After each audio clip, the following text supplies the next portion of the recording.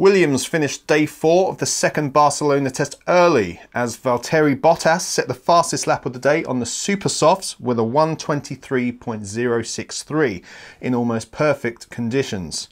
The team are very happy with where they are at the end of testing. Sebastian Vettel set the second fastest time of the day, also on the super softs.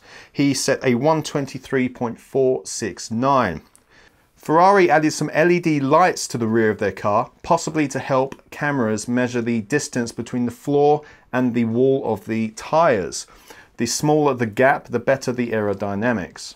Nico Rosberg of Mercedes set the second highest tally of the day with 148 laps on the medium tyre. Despite a successful test, Rosberg says he's still not 100% happy with the car, but they know what they need to do and will be ready to nail it in Melbourne for the first race of the season. Daniel Ricciardo of Red Bull stopped at the end of the pit lane with an ERS issue. He, as well as his engineers, were spotted smelling his overalls back in the pit lane. Turns out an energy control unit started smoking near the cockpit.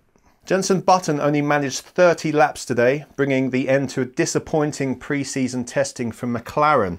He had a sensor problem, which meant the whole engine had to be taken out.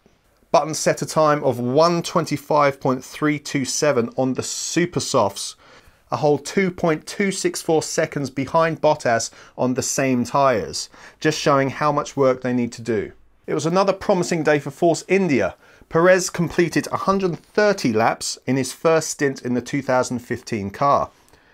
Lack of aero development seems to be affecting the car's pace, but seems rock solid from a reliability perspective.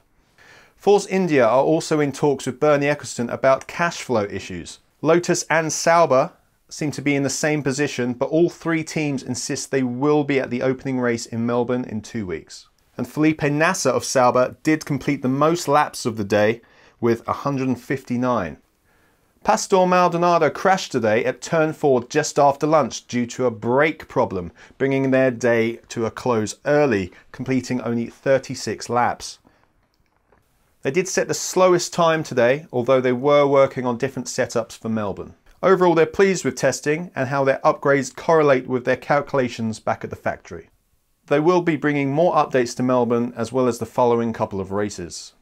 Max Verstappen of Toro Rosso had an engine problem which interrupted his day.